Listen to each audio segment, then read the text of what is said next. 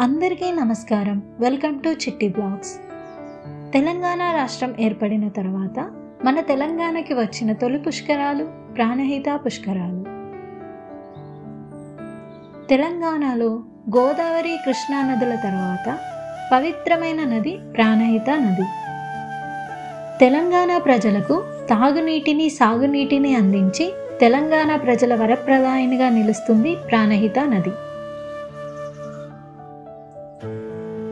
April పదమూడు నుంచి ఇరవై నాలుగు వరకు పన్నెండు రోజుల పాటు ప్రాణహిత నదికి పుష్కరాలు జరగనున్నాయి.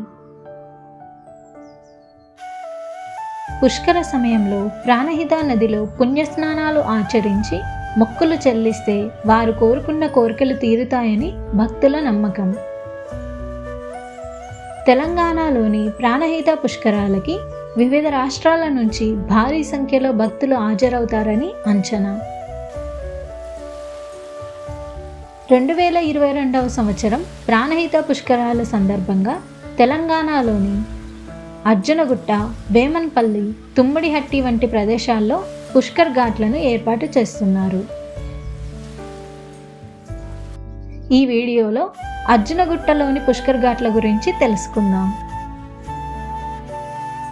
గతంలో రెండు వేల పది సంవత్సరంలో జరిగిన ప్రాణహిత పుష్కరాలలో ప్రముఖ రాజకీయ నాయకులు సెలబ్రిటీలు ఈ అర్జునగుట్ట పుష్కర ఘాట్ల వద్దనే పుణ్యస్నానాలను ఆచరించారు. ఇక్కడికి దగ్గరగా ఉన్న ప్రముఖ శైవక్షేత్రం కాళేశ్వరం వల్ల ఈ పుష్కర్ ఘాటకి ప్రాముఖ్యత సంతరించుకుంది. ఈ అర్జున్గుట్ట వద్ద రెండు పుష్కర్ ఘాట్లను ఏర్పాటు చేస్తున్నారు. విఐపీల కోసం ప్రత్యేకంగా ఒక పుష్కర్ ఘాట్ని ఏర్పాటు చేస్తున్నారు. అర్జునగుట్టకి చేరుకోవడం ఎలా? అర్జునగుట్ట మంచిర్యాల జిల్లాలోని చెన్నూరు నుంచి ఇరవై ఒకటి కిలోమీటర్ల దూరంలో ఉంటుంది. మంచిర్యాల నుంచి అరవై కిలోమీటర్ల దూరంలో ఉంటుంది. కాళేశ్వరం నుంచి పదిహేడు కిలోమీటర్ల దూరంలో ఉంటుంది. హైదరాబాద్ మరియు వరంగల్ నుంచి ఇక్కడికి ఎలా చేరుకోవాలో తెలుసుకుందాం. హైదరాబాద్ నుంచి అర్జునగుట్ట రెండు వందల ఎనభై కిలోమీటర్ల దూరంలో ఉంటుంది. రైలు మార్గం. సికింద్రాబాద్ నుంచి మంచిర్యాలకి రైలు సౌకర్యం కలదు. మంచిర్యాల నుంచి మీకు డైరెక్ట్గా బసెస్ ప్రైవేట్ వెహికల్స్ అయితే అర్జునగుట్ట వైపు ఉంటాయి. మీరు హైదరాబాద్ నుంచి వయా కరీంనగర్ మీదుగా మంచిర్యాల మరియు చెన్నూరుకి డైరెక్ట్ బస్సెస్ ఉంటాయి. అక్కడ నుంచి మీకు బస్సెస్ కానీ వెహికల్స్ కానీ అర్జునగుట్ట వైపు అందుబాటులో ఉంటాయి. వరంగల్ వైపు నుంచి వచ్చే భక్తులు ఎలా చేరుకోవాలో చూద్దాం. వరంగల్ నుంచి అర్జునగుట్ట నూట ముప్పై ఆరు కిలోమీటర్ల దూరంలో ఉంటుంది. రైలు మార్గం. కాజీపేట నుంచి మంచిర్యాలకి రైలు మార్గం ఉంటుంది. మంచిర్యాల నుంచి మీకు అర్జునగుట్ట వైపు ప్రైవేట్ బస్సెస్ అండ్ వెహికల్స్ అయితే ఉంటాయి. రోడ్డు మార్గం. వరంగల్ నుంచి మీకు డైరెక్ట్ బస్సెస్ కాళేశ్వరం చెన్నూర్ మంచిర్యాలకు ఉంటాయి. వరంగల్ నుంచి వయా భూపాల్పల్లి కాళేశ్వరం మీదుగా మీరు డైరెక్ట్గా అర్జునగుట్టకు చేరుకోవచ్చు. కాళేశ్వరం నుంచి అర్జునగుట్ట పదిహేడు కిలోమీటర్ల దూరంలో ఉంటుంది. ఇప్పుడు వసతి సౌకర్యాలను చూద్దాం.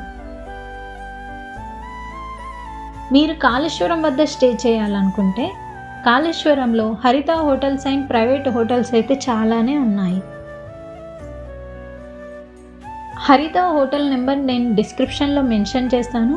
ఆ నెంబర్కి కాల్ చేసి మీరు ముందుగానే రూమ్స్ అనేవి బుక్ చేసుకోవాల్సి ఉంటుంది. మేక్ మై ట్రిప్ మరియు బుకింగ్ డాట్ కామ్లో కూడా మిగతా హోటల్ డీటెయిల్స్ అన్నీ ఉన్నాయి. వాళ్ళకు కాల్ చేసి మీరు ముందుగానే రూమ్స్ అనేవి బుక్ చేసుకోవాల్సి ఉంటుంది. మంచిర్యాల్ మరియు చెన్నూరులో కూడా హోటల్స్ అనేవి అవైలబుల్గా ఉన్నాయి. మీరు ఒకవేళ సుదూర ప్రాంతాల నుంచి అర్జునగుట్టలో పుష్కర స్నానానికి వచ్చినట్టయితే కాళేశ్వరంలో స్టే చేయడానికి ట్రై చేయండి. అర్జునగుట్టలో పుణ్యస్నానం ఆచరించిన తర్వాత కాళేశ్వరంలోని ముక్తేశ్వర స్వామిని దర్శించుకోవచ్చు. కాళేశ్వరంలోని ముక్తేశ్వర స్వామి టెంపుల్ ప్రధాన శైవక్షేత్రంగా చెప్పుకోవచ్చు. అలాగే ప్రపంచంలోనే అతిపెద్దదైన లిఫ్ట్ ఇరిగేషన్ ప్రాజెక్ట్ కాళేశ్వరంని కూడా ఇక్కడ మీరు చూడవచ్చు. కాళేశ్వరంలో ముక్తివనం అనే పార్క్ కూడా ఉంటుంది. దాన్ని కూడా మీరు చూడవచ్చు. చెన్నూరులో ప్రముఖ పురాతన శివాలయం టెంపుల్ ఉంటుంది. ఆ టెంపుల్ని కూడా మీరు సందర్శించవచ్చు. అలాగే చెన్నూరులో మదన పోషమ్మ ఆలయం కూడా ఉంటుంది. ఆ ఆలయాన్ని కూడా మీరు దర్శించుకోవచ్చు. అర్జునగుట్ట వద్ద రెండు పుష్కర్ ఘాట్లను ఏర్పాటు చేస్తున్నారు. ఇందులో విఐపీల కోసం ప్రత్యేకంగా ఒక పుష్కర్ ఘాట్ని ఏర్పాటు చేస్తున్నారు. ఇక్కడ టాయిలెట్ ఫెసిలిటీస్ మహిళల కోసం తాత్కాలిక ట్రయల్ రూమ్స్ని ఏర్పాటు చేస్తున్నారు. సమ్మర్ కావడం వల్ల డ్రింకింగ్ వాటర్ ఫెసిలిటీని కూడా ఏర్పాటు చేస్తున్నారు. ఇప్పటికే రోడ్ల మరమ్మతులు కూడా చేస్తున్నారు. తెలంగాణ వచ్చిన తర్వాత తొలి పుష్కరాలు ప్రాణహిత పుష్కరాలు అయినప్పటికీ ప్రభుత్వం ఎటువంటి నిధులు కేటాయించక నిర్లక్ష్యం వహిస్తుంది. పుష్కరాలకి పెద్ద మొత్తంలో వివిధ రాష్ట్రాల నుంచి భక్తులు రానున్న సందర్భంగా తెలంగాణ పోలీస్ డిపార్ట్మెంట్ వాళ్ళే చొరవ తీసుకొని భక్తులకు ఇబ్బంది కలగకూడదని వారే ఈ ఏర్పాట్లన్నీ చేస్తున్నారు. ఇప్పటికైనా ప్రభుత్వం స్పందించి సౌకర్యాలను వేగంగా ఏర్పాటు చేయాలని ఆశిస్తున్నారు. ఈ వీడియో మీకు అందరికీ యూస్ఫుల్గా ఉంటుందని భావిస్తున్నాను. మీరు కూడా ప్రాణహిత పుష్కరాలలో పుణ్యస్నానాలు ఆచరించి మీ కోరికలు తీర్చుకోవాలని కోరుకుంటున్నాను. రానున్న రోజుల్లో ప్రాణహిత పుష్కరాలకు సంబంధించిన అప్డేట్స్ని నా ఛానల్లో పోస్ట్ చేయబోతున్నాను. ఈ కంటెంట్ కనుక మీకు నచ్చినట్టయితే నా ఛానల్కి సబ్స్క్రైబ్ చేసుకొని నన్ను సపోర్ట్ చేయండి. ఈ వీడియో అంతా చూసినందుకు మీ అందరికీ ధన్యవాదాలు. Thank you